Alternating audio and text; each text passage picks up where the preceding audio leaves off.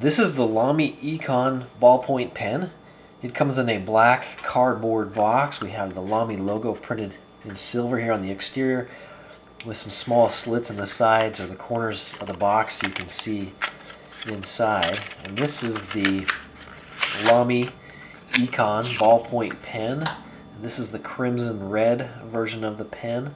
All of the pens come with a metal barrel, metal components, and chrome accents. Uh, it has a chrome button here on the top. It's just a click action ballpoint pen.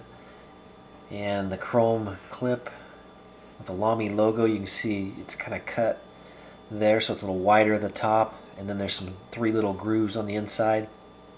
And the clip is just bent here around the bottom to slip into your pocket.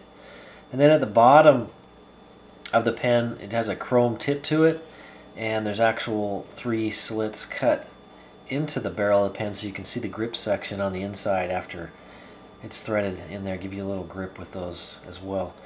To change the refill in the pen, you simply unscrew that grip section from the barrel of the pen, and it comes with a Lamy M16 ballpoint refill. It's a medium tip with, with black ink. Um, Great looking basic ballpoint pen. Get your Lamy Econ ballpoint pen at penchalet.com.